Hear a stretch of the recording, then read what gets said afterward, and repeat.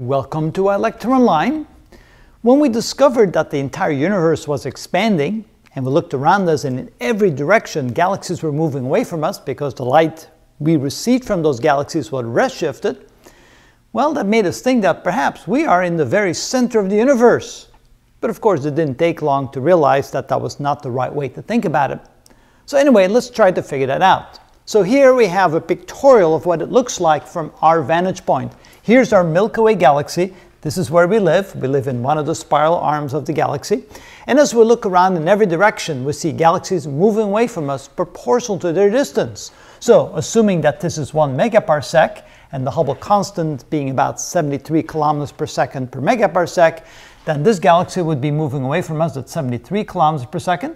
This one being twice the distance at 146, and this one at three times the distance, 219 kilometers per second. But it doesn't matter if we look in that direction, or look in this direction, or this direction, or this direction, or diagonally. Notice that this one is moving a little bit faster because diagonally this distance is greater than this. And so you can see that 103 kilometers per second is the square root of 2 times 73 kilometers per second. Approximately, of course. And so you can see that, yes, from our vantage point, that's indeed what it appears. And so you could say that if you're one of the raisins, so if this is our Milky Way galaxy, then of course all the galaxies would be moving away from us, just like the raisins in raisin uh, dough that's expanding because of the yeast. But of course, it really doesn't matter what galaxy you're on. So let's assume that in a neighboring galaxy right here, we have another habitated planet, and we have some aliens living on that planet and they look around, let's say they've uh, mastered the technology, they built telescopes, they look around and maybe they have an equivalent Hubble on their planet and they look around and go, wow, look at that, the whole universe is expanding.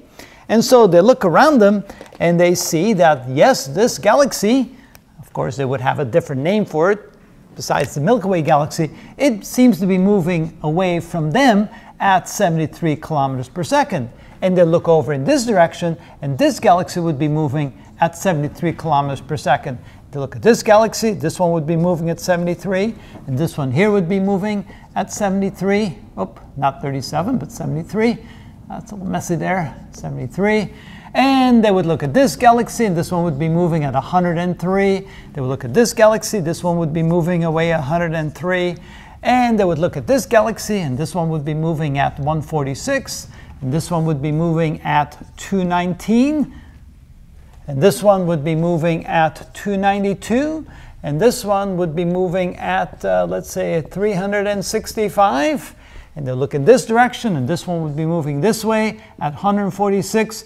So you can see that from their vantage point, the whole universe would be moving away from them in the exact same ways it appears that the whole universe is moving away from us. So relative to our neighbors here, they would look around and they see every galaxy in the universe moving away from them proportionally to the distance in the exact same way as we would see that happening.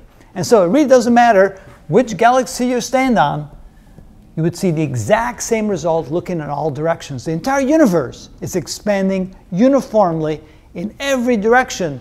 The distance between objects or galaxies are moving away from, from each other proportionally to the space between them. Twice as much space, twice as fast. So again, the analogy that space in between the galaxies is expanding and the galaxies are simply along for the ride is just like the raisins are expanding inside the dough, just like the dough is the raisins are along for the ride as the dough itself expands.